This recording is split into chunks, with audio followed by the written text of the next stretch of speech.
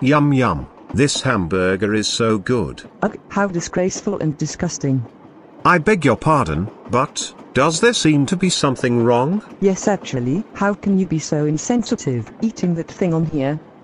Hamburger. I'm sorry, but, am I missing something? It's just a burger. What's wrong with me eating a burger? Just a burger. Just a burger.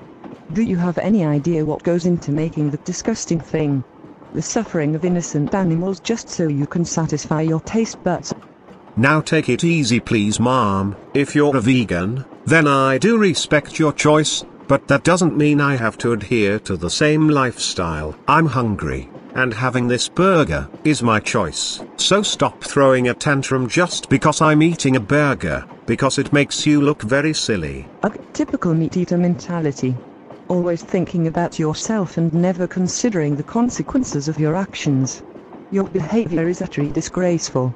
You shouldn't be eating meat, it offends me greatly. Now look here lady, I understand you're deeply passionate about your beliefs, but this is a public space, and you can't expect everyone to conform to your standards. Stop eating that burger right now, stop eating that burger right now, stop eating that burger right now. My stomach, my choice lady. Well, maybe if more people cared about the impact of their choices, the world wouldn't be in such a mess. So, agree to disagree then? Oh whoopie doo doo, a carnivore's paradise.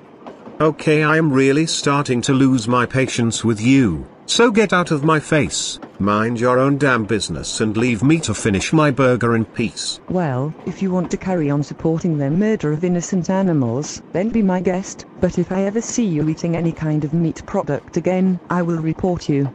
Yeah right, like the cops are going to arrest me because I'm eating a burger or a hot dog, you'll just be wasting their time, stupid woman. Yeah. That's right, walk away you self-entitled vegan queen.